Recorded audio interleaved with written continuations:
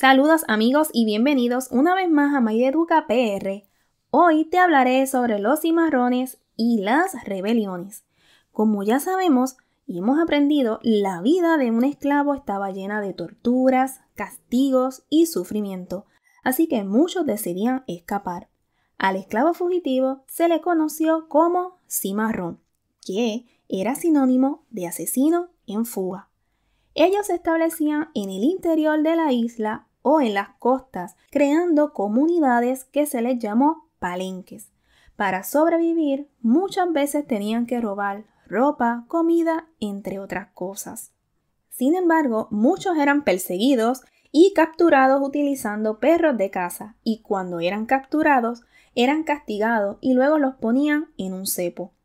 Antes de continuar, quiero que sepas que los primeros esclavos llegaron directamente desde Sevilla, el cual se le dominaban ladinos, para trabajar en las minas.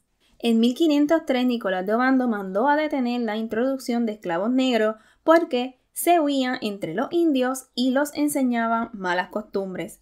Así que los primeros levantamientos fueron de esclavos ladinos en la española, mientras en el 1514 en Puerto Rico fue un año de cambios. Primero, fue el último año de Diego Colón y el comienzo del gobernador de Sancho Velázquez. Este año hubo huracanes, crisis agrícola y un levantamiento, el cual cuatro esclavos fueron ahorcados. Mientras en el 1522 en la Española hubo un alzamiento y fue este mismo año que ocurrió el levantamiento del cacique Enriquillo. Por otro lado, la cantidad de esclavos iba creciendo el cual se puede observar en el censo de 1530, el cual los africanos eran más de siete veces que los españoles con una cantidad de 2.284, mientras los españoles eran 333 y por el otro lado los indios eran de 1553.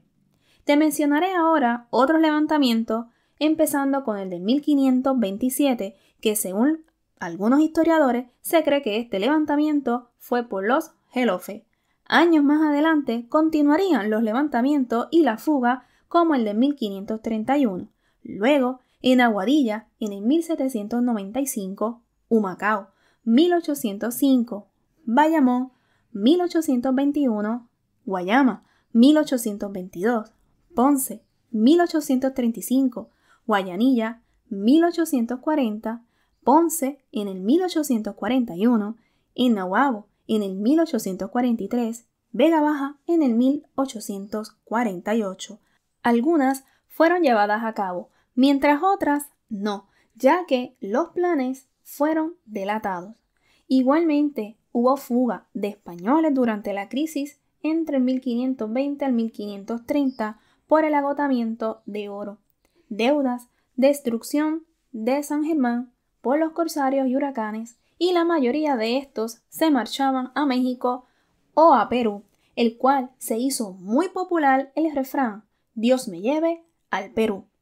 Ahora bien, para frenar las fugas y rebeliones de esclavos, el gobernador Miguel Muezas en el 1770 prometió una recompensa en dinero a todo aquel que atrapara un cimarrón.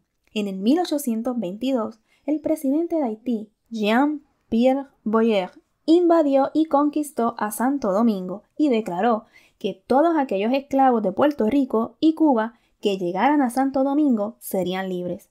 Muchos esclavos se escapaban utilizando sencillas canoas, mientras los dueños colocaban anuncios como el siguiente. Se han fugado hace más de 10 meses de la hacienda Carlota, del partido de Guayama. Los esclavos José Rincón, mulato oscuro, Juan Grande, mulato oscuro, Fabián, negro retinto con una cicatriz en el lado izquierdo de la boca y pecoso. Juan José, mulato oscuro, entre otros esclavos. Al final del aviso, el dueño indicaba que aquel que encontrara los esclavos iba a ser bien gratificado. Sin embargo, en el 1826, el gobernador Miguel de la Torre decretó el reglamento de esclavos, el cual exponía lo siguiente. En el artículo 3 decía, fuera de la hacienda no saldrá jamás el esclavo con ningún instrumento de labor, a no ser que vaya acompañando al amo, al mayordomo o a la familia de estos. Mientras en el capítulo 13, artículo 1, detallaba las obligaciones de los esclavos y las penas correccionales, que incluían grilletes, cadena y azotes. En el 1848 el gobernador Juan Prim, nombrado capitán general, aprobó una ley, el cual se llamó Bando contra la raza negra, en el cual una persona blanca podía tomar cualquier medida necesaria para controlar a los negros o mulatos. Incluía la pena de muerte si un negro lastimaba a un blanco y la pérdida de la mano derecha si era un negro libre. Así que el código de Juan Prim autorizaba a los dueños de esclavos el castigarlos a su gusto, especialmente en caso de intento de escape, pues servía para evitar que los demás sigan su ejemplo. Las penas eran excesivas, por ejemplo, se otorgaban cinco años de cárcel para todo negro que insultara a un blanco. Estas razones y otras fueron las que conllevaron a los inicios de las ideas de libertad y el surgimiento de los abolicionistas, que en otro video te contaré. Hasta aquí esta parte de los cimarrones y las rebeliones. Recuerda compartir y suscribirte al canal. My PR. Adiós amigos.